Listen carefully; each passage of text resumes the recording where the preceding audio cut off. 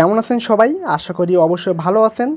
তো আজ আমরা একটা সলিড স্টেট ফিজিক্সের গুরুত্বপূর্ণ একটা প্রশ্ন সমাধান করব। প্রশ্নটা হলো এফসিসি ল্যাটিসের প্যাকিং ভগ্নাংশ নির্ণয় করো এবং প্যাকিং ভগ্নাংশ জিরো পয়েন্ট সেভেন ফোর এটা আমাকে ব্যাখ্যা করো অথবা প্যাকিং ভগ্নাংশ নির্ণয় করো। ঠিক আছে? এটা আমাকে নির্ণয় করতে হবে অনেক গুরুত্বপূর্ণ জিনিস কিউবিকের জন্য। এবং এটাকে দুইভাবে থাকতে পারে এস সিলাইটিস মানে কি সিম্পল কিউবিকের জন্য থাকতে পারে। দেখো এখানে এস সি মানে কি সিম্পল কিউবিকের জন্য একটা থাকতে পারে, অথবা এফ সিসি এখানে অবশ্যই একটা করে আসে এই জাতীয় প্রশ্ন। ফেস সেন্ট্রাল কিউবিক লাইটিসের জন্য মানে মানে এখানে তল কেন্দ্রিক বা মুখ কেন্দ্রিক কিউবিক লাইটিসের জন্য নির্ণয় করতে পারে, অথবা বিসিসি বিসিসি মানে কি? বিসিসি মানে হলো এখানে বডি সেন্ট্রাল কিউবিক মানে দেহকেন্দ্রিক যে কিউবিক সেটা নির্ণয় করতে বলতে পারে। তো এখান থেকে সিম্পল কিউবিক এটা অনেক সহজ এবং এটা করার প্রয়োজনতা নেই। সাধারণত এই দুইটা থেকে বারবারই পরীক্ষায় একটা করে আসে, ঠিক আছে? তো আমরা এখানে এফসিসি মানে কি? ফেস সেন্ট্রাল কিউবিক এর ইউনিট সেল বা ল্যাটিসের আমরা প্যাকিং ফংশনটা নির্ণয় করব, ঠিক আছে? তো তার আগে মূল জিনিস করার আগে সবচেয়ে একটি বেসিক জিনিস হলো এই জিনিস কয়টার আগে আমরা একটু চিত্র সাইজে দেখে নেওয়ার চেষ্টা করি। অবশ্য অনেক থ্রি চিত্র, তবে আমরা টু ডি চিত্র সাইজে মানে খাতা কলমে একটু দেখার চেষ্টা করব। তো দেখো, আমরা টু ডি চিত্রে কীভাবে এটা দেখানো যায় অ্যাকচুয়ালি এটা কীভাবে দেখানো যায়, সেটা আমরা একটু চেষ্টা করি। তো প্রথমে আমরা এফসিসি এর নির্ণয় করতে পারি, ঠিক আছে? এফসিসি মানে কি? ঠিক আছে, মুখ কেন্দ্রিক অথবা তল কেন্দ্রিক, এটা কিন্তু খেয়াল করতে হবে। তো আগে আমরা একটা কিউবিক এঁকে নিই, ঠিক আছে? আগে আমরা একটা কিউবিকটা এঁকে নেব এবং এটা বোঝানোর জন্য আমরা দুই ভাগে একটা কিউবিক এঁকে নেব। এক্স, ওয়াই, জেড অক্ষ বরাবর এটা জানোস প্রত্যেকেই। ঠিক আছে? তো আমরা এখানে ঠিক একই ক্রমে, এটা যেহেতু আমরা এফসিসি করছি, ঠিক একই ক্রমে আমরা আরেকটা কিউবিক এঁকে নিলাম। সুবিধার্থে। ওভাবে করবে, আমরা একটু খারাপ হয়ে যাচ্ছে দ্রুততার কারণে। এবার এটা আমরা নিয়ে করব কত? এফসিসি এর জন্য। ঠিক আছে? ঠিক একই ক্রমে আমরা এখানে বিসিসিটা দেখার চেষ্টা করব। সেজন্য আমরা এখানে বিসিসি বেসিক আর জিনিসটা না জানলে কিন্তু হবে না। সে কারণে কিন্তু আমরা একটু বেসিক ভেঙে করার চেষ্টা করতেছি এখানে। অনেক সহজ দেখলেই হবে। সুন্দর করে, তো দেখো আমি চিত্রটা একটু সুন্দর করে আঁকাবে, আমার তো ভালো হচ্ছে না।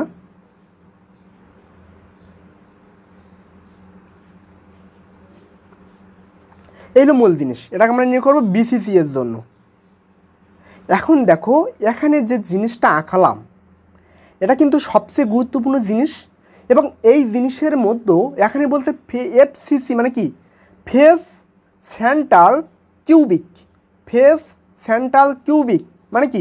মুখ কেন্দ্রিক অথবা তল কেন্দ্রিক। মানে কি? এখানে বলা হয়েছে, এখানে এখানে একটা তল থাকবে। এই যে তল, এখানে তল আছে কয়টা? একটা ঘুনুকের তল থাকে ছয়টা। তাহলে এখানে এই, এখানে একটা তলে একটা আছে, ঠিক একই ক্রমে এ একটা তলে আছে, এ একটা তলে থাকবে এবং এ একটা তলে থাকবে। কয়টা হলো? চারটা। এবং এই একটা তলে সাধারণ একটা এ একটা তলে থাকবে এবং এই পাশের এ একটা তলে থাকবে। চিত্রটা একটু ডিফিকাল্ট হয়ে গেল, তাই না? তো দেখো, এই হলো কি? এটা হলো সাধারণত এফসিসি এই তল। এবং প্রত্যেকটা কোণে ঠিক একই ক্রমে প্রত্যেকটা কোণে একটা করে থাকবে।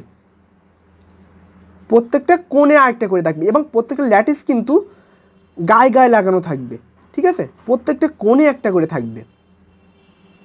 এখানের ভিতরে এটা তো এটার জন্য এই ভিতরে এখানে একটা হবে, এখানে একটা হবে, ঠিক একই ক্রমে এখানে একটা হবে। হ্যাঁ চিত্রটা একটু আনুষঙ্গিক হয়ে গেল, কেমন একটা হয়ে গেল, তাই না? আমরা একটু ভিন্ন কলম দিয়ে দেখাই এখানে, তাহলে এখানে দেখলে বুঝতে পারবে। প্রথমে এই চার কোণার জন্য এখানে এই মাঝখানে একটা থাকবে। এবার এই চার কোণার জন্য এই মাঝখানে একটা থাকবে, ঠিক আছে? এই চার কোণার জন্য এই মাঝখানে একটা থাকবে, এই চার কোণার জন্য এই মাঝখানে এই মাঝখানে। তাহলে কয়টা হলো? একটা, দুইটা, তিনটে, চারটে, পাঁচটা, ঠিক আছে? তাহলে এখনে আরেকটা আছে, সেটা হলো দেখো, এই এই চতুর্ভুজের জন্য এখানে একটা। তাহলে এই হলো ছয়টা মানে ছয় তলে, আমরা ছয় তলে ছয়টা দিয়ে দিলাম। ঠিক আছে? এবার দেখো প্রত্যেকটা কোণে কোণে আরও একটা করে যোগ করে দিতে হবে।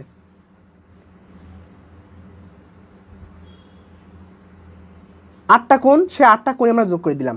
জাস্ট এই চিত্রটা কিন্তু এখানে দেখানো হয়েছে এবং এখান থেকে সবচেয়ে গুরুত্বপূর্ণ জিনিস আমরা এফসিসি এর ল্যাটিস, এর এফসিসি এর কি প্যাকিং ভগ্নাংশ নির্ণয় করব। প্যাকিং ভগ্নাংশটা ঠিক এরকম, আমরা এই যে সাধারণ একটা কিউবিক সাধারণ একটা কিউবিক এই কিউবিকের এই অংশ থেকে এই অংশ এবং এই অংশটাকে আমরা নির্ণয় করব। এই অংশটাকে বলা হয় প্যাকিং ভগ্নাংশ ঠিক আছে?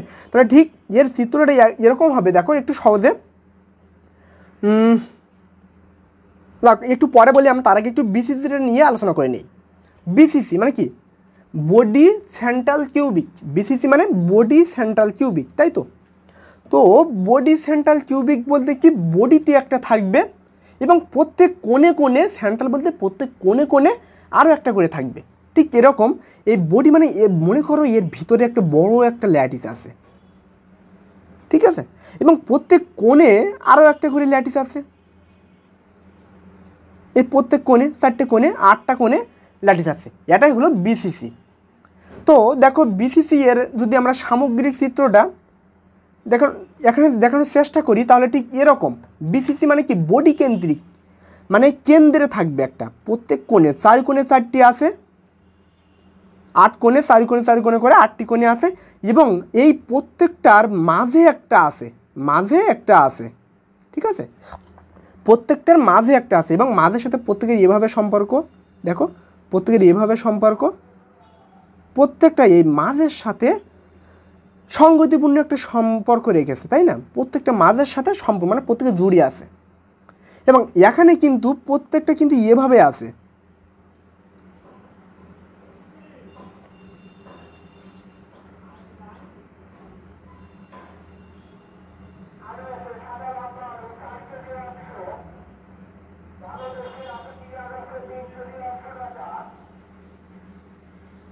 ঠিক আছে? এভাবে কিন্তু মানে প্রত্যেকটা মনে করো একটা ঘুড়ি কোয়ালিটির মতো, যদি একটা ঘুড়ি হয়, এই চিত্রটা ঠিক এরকমই, এরকম এরকম এরকম এরকম আছে। কিন্তু এই চিত্রটা ঘুড়ি না, এই চারুকোনা চারটে আছে এবং এর মাঝখানে প্রত্যেকে যে আটটি কোণে আছে এবং মাঝখানে একটা আছে, এটা কিন্তু এভাবে দেখানো হয়। সাধারণত এই হলো বেসিক আলোচনা বেসিক জিনিস বিসিসি এবং এফসিসি ল্যাটিসের ক্ষেত্রে। এবার আমরা যখন প্যাকিং ভগ্নাংশ নির্ণয় করব, দেখো অনেক গুরুত্বপূর্ণ প্যাকিং ভগ্নাংশ নির্ণয় করব। সেক্ষেত্রে আমরা কীভাবে করব? তো যখন আমরা প্যাকিং ভগ্নাংশ নির্ণয় করব, তখন দেখো এটাকে আমরা চিত্রটাকে, আমরা এই অংশ চিত্রটা একটু দেখি, আমরা এই অংশের নির্ণয় করব, ঠিক আছে? শুধুমাত্র এইটুকু অংশ নির্ণয় করব, এইটুকু অংশ নির্ণয় করলে আমাদের প্যাকিং ভগ্নাংশটা হয়ে যাবে। তো প্যাকিং ভগ্নাংশ নির্ণয় করার জন্য দেখো আমরা চিত্রের একটা ত্রিভুজ নেই এবং আমরা জাস্ট এই পর্যন্ত যে চিত্রকটা আঁকালাম, এই চিত্র দেখা, দেওয়ার প্রয়োজনীয়তা নেই। আমরা জাস্ট এফসিসির জন্য শুধুমাত্র এই চিত্রটাকে আমরা নির্বাচন করব বা এই চিত্রটাকে আমরা এখানে দিব, ঠিক আছে? তো আমরা এটাকে ধরে নিলাম এ এটা বি এবং এটা সি ধরে নিলাম। এবং এই সম্পূর্ণ দূরত্বকে ইয়ে যেহেতু সাধারণ কিউবিক ল্যাটিস প্রত্যেকটা দূরত্ব কী হবে? ইয়ে হবে। তো এটা কিন্তু অতিভুজ, কারণ এখান থেকে হাফ নিয়েছি। এ অংশ কিন্তু এভাবে ছিল। কিন্তু এই অংশটা না নিয়ে আমরা এখানে হাফ নিয়েছি। প্যাকিং ভগ্নাংশ নির্ণয় করার জন্য, ঠিক আছে? তো দেখো আমরা প্রত্যেকটা কিউবিকের জন্য ইয়ে দিলাম। এবং এখানে দেখো মাঝখানে প্রত্যেক তলে একটা কী ছিল? বড় একটা কিউবিক ছিল। প্রত্যেক তলে বড় কিউবিক বলতে এখানে একটা এই জাতীয় একটা কিউবিক ছিল এবং এখানে এখানে একটা কিউবিক ছিল আর এখানে এখানে একটা কিউবিক ছিল। এই। এটাকে আমরা একটু সহজভাবে যদি বুঝতে চেষ্টা করি, তাহলে দেখো একটা দাগ টানলাম। দাগ টানার পরে এখানে এই বড় একটা কিউবিক ছিল, এখানে মাঝখানে ফেস মানে তলে। তলের যে কিউবিকটা ছিল ঠিক এখানে? এবার এখানে এই তলে ঠিক একই ক্রমে সেম সমজাতীয় একটা গোল মানে কিউবিক ছিল ল্যাটিস ছিল সরি কিউবিক না। এবং এখান থেকে যেহেতু আমরা এই পর্যন্ত ইয়ে পর্যন্ত নির্ণয় করব মানে কি? এই পর্যন্ত নির্ণয় করব ইয়ে ঠিক একই ক্রমে এর এই পর্যন্ত নির্ণয় করব।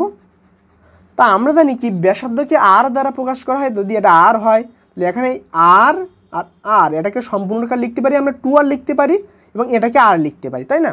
তাহলে এটাকে এই যে সম্পূর্ণ, এই যে ব্যাসার্ধ, সম্পূর্ণ যে এসি রেখাটাই এটাকে আমরা আর প্লাস আর এই two r plus r plus r সমান লিখতে পারি ফোর আর আশা করি কোনো কনফিউশন নেই এখানে। এবং এখানে যেহেতু এখানে একটা এইভাবে একটা হবে, এটা দেখার প্রয়োজনতা নেই। মূলত এটাই হলো মূল জিনিস, কারণ এখান থেকে আবার এইভাবে একটা গোল হবে প্রত্যেকটার জন্য। এটা হলো এফসিসি ল্যাটিস এফসিসি ঠিক আছে? তলকেন্দ্রিক বা মুখ কেন্দ্রিক যা হোক যেটাই বলো। এবার এটাকে আমরা কি করব? এর প্যাকিং ভগ্নাংশ নির্ণয় করব। ঠিক আছে?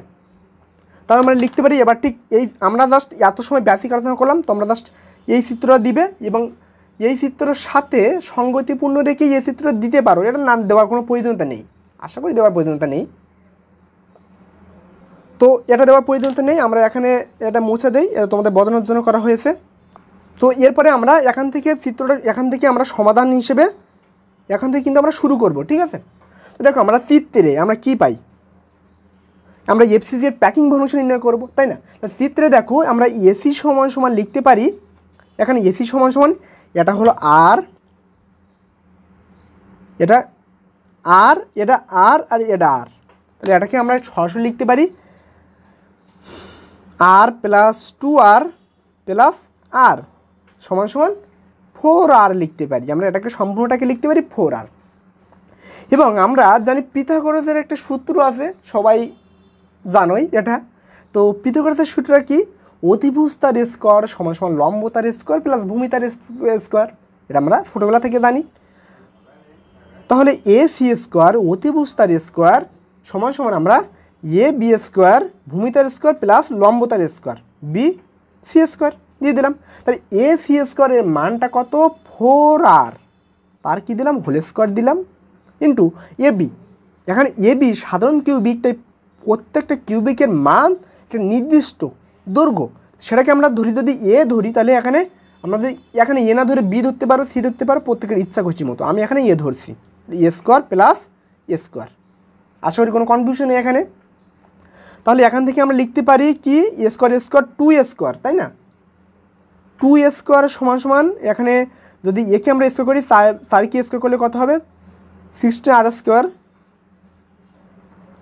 ষোলো আর স্কোয়ার হলো আর দুই আর স্কোয়ার হলো, ঠিক আছে?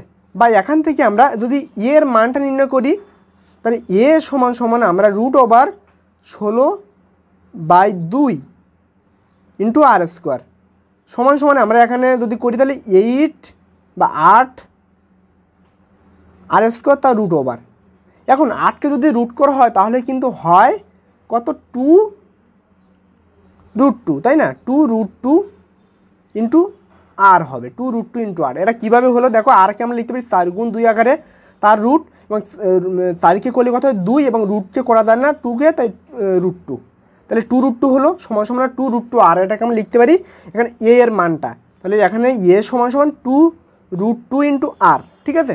এ সমান সমান two root two into r মানে এই মানটাকে হলো টু রুট টু আর আমরা এই পর্যন্ত লিখব।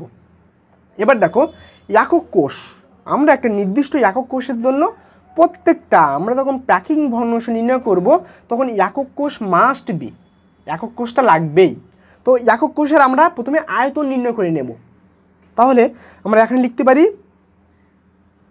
একক কোষের আয়তন। ঠিক আছে? তো একক কোষের আয়তন হবে সাধারণত এ কিউব। এ কিউব বলতে এর মান কত? টু রুট টু আর তার কত? কিউব। এবং টু রুট টু আর তার কিউব করলে দেখো টুকে যদি আমরা কিউব করি, তাহলে হয় কত? এইট হয়। এবং রুট টুকে কিউব করলে কত হবে? গুণ টু রুট টু হয়। কারণ এখানে রুট টু হলো তিনটা। দুইটা মিলে হচ্ছে একটা টু এবং একটা রুট টু। তাহলে টু রুট টু আর আরকে কিউব করলে হয়? গুণ আর কিউব। সমান সমান আলটিমেটলি এখানে হচ্ছে ষোলো রুট টু আট দুনো ষোলো রুট টু আর কিউব ঠিক আছে? ষোলো রুট টু আর কিউব এই মানটা আমরা পাচ্ছি এখানে একক কোষের আয়তন মানে এ কিউবের জন্য। এখন সবচেয়ে মোস্ট ইম্পর্টেন্ট হলো কোষের অভ্যন্তরে কতটা পরমাণু আছে। এইটা কিন্তু মোস্ট ইম্পর্ট্যান্ট এটা কিন্তু মনে রাখা অনেক কষ্টকর। তবে কষ্টকর না, আমি যেভাবে বলব সেভাবে মনে রাখলে অনেক সুবিধা হবে। তো আমরা করব কি? কোষের অভ্যন্তরে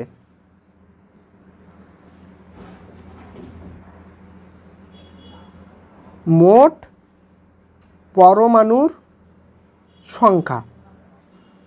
ঠিক আছে?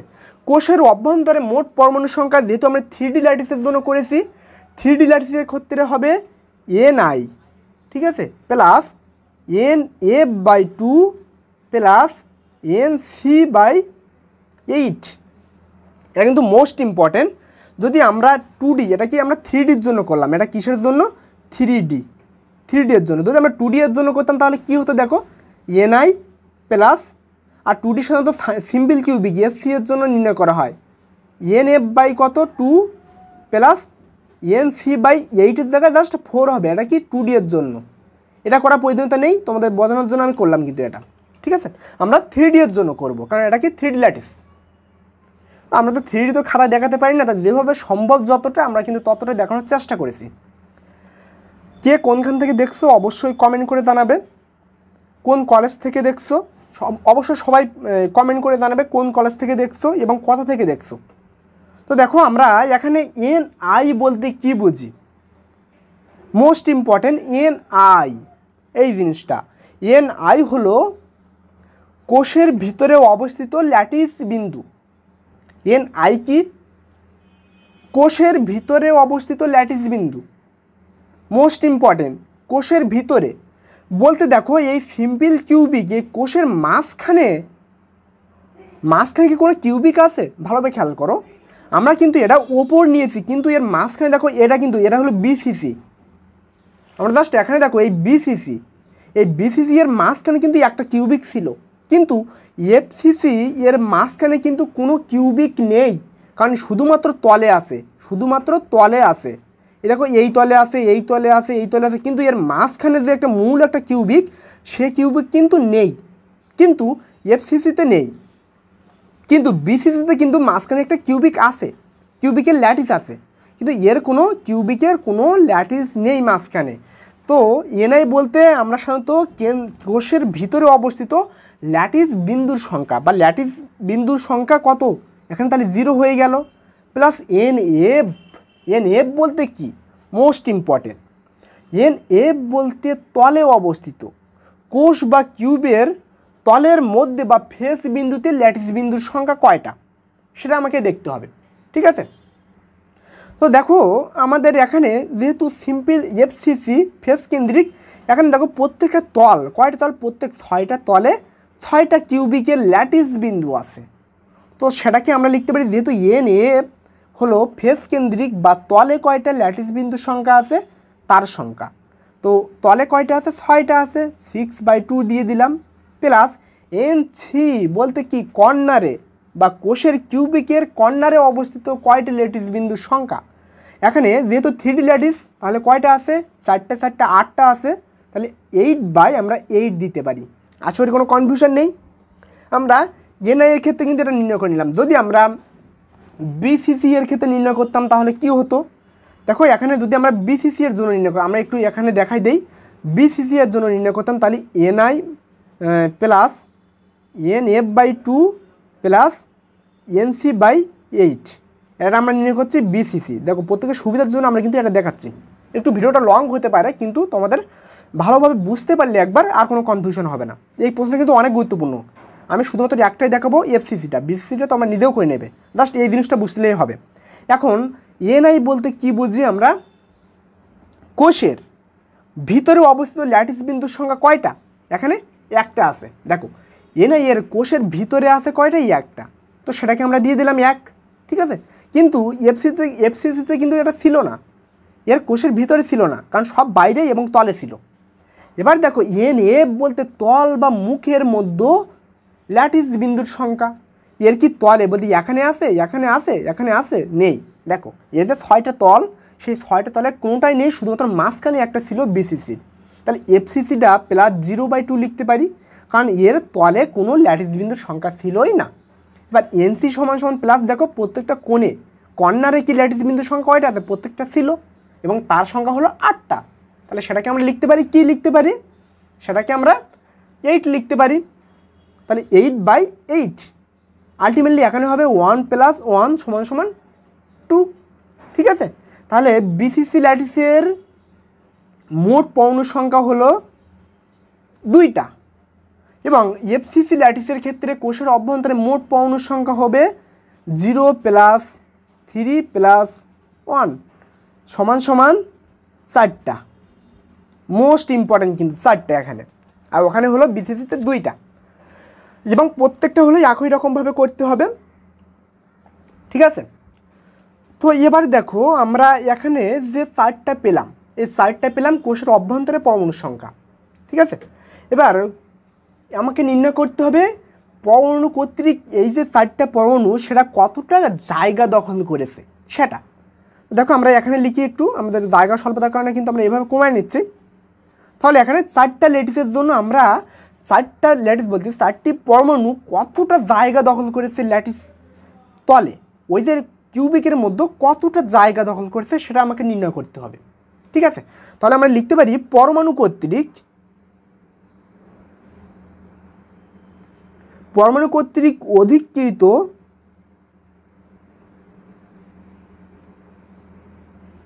অংশের আয়তন।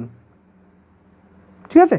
পরমাণু কর্তৃক অধিকৃত অংশের আয়তন, আমরা আয়তন সমান সমান, আয়তন সমান সমান আমরা চারটি ল্যাটিসের জন্য ফোর গুণ four by three pi r cube.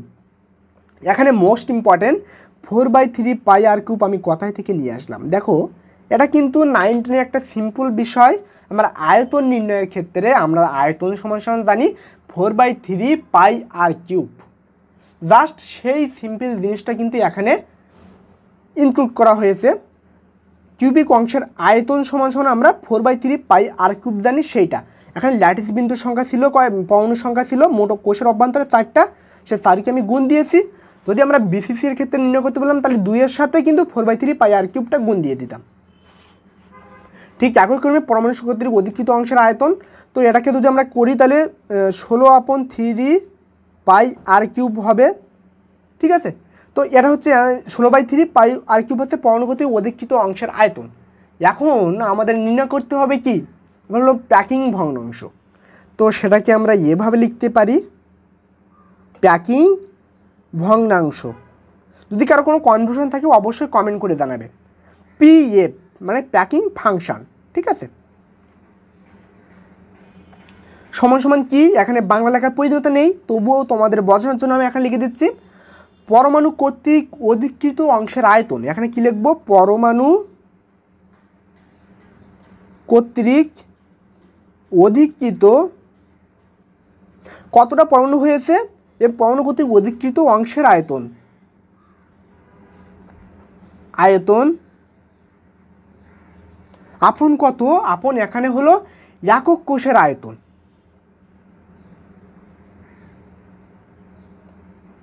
আয়তন। ঠিক আছে? তো দেখো, পরমাণু কর্তৃক অধিকৃত অংশের আয়তনকে আমরা পেয়েছি কত? ষোলো বাই তিন pi root three. Sixteen by three pi r cube. আপন একক কোষের আয়তন, আমরা দেখো এখান থেকে একক কোষের আয়তন এ কিউব সমান সমান, একক কোষটা এ সমান সমান একটা নির্দিষ্ট মান বের করে নিলাম এবং তাকে কিউব করে হয়েছিল ষোলো sixteen root two r cube. তো সেটাকে আমরা লিখব। ঠিক আছে? R cube. তো এটাকে যদি আমরা সিম্পলভাবে ক্যালকুলেশন করার চেষ্টা করি তাহলে এখানে কত হবে? দেখো এটাকে আমরা sixteen by three pi r cube দিলাম গুণ ওয়ান আপন sixteen root two r cube দিয়ে দিলাম। এটাকে গুণ আকারে ছিল, ভাগ আকারে ছিল, এটা গুণ আকারে কি উল্টা দিয়েছে। এখন দেখো, এখানে সিক্সটিন সিক্সটিন কিন্তু কাটা যাচ্ছে আর কিউব এবং আর কিউব কিন্তু কাটা যাচ্ছে। এখানে থাকে তাহলে তাহলে থাকে কত? পাই আপন এখানে থাকে পাই আপন কত? Three root two. ঠিক আছে?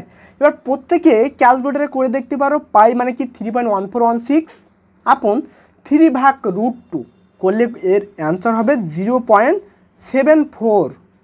Just এটা হলো অ্যান্সার বা প্যাকিং ভগ্নাংশ অতএব পিএফ প্যাকিং ভগ্নাংশ সমান সমান জিরো পয়েন্ট সেভেন ফোর।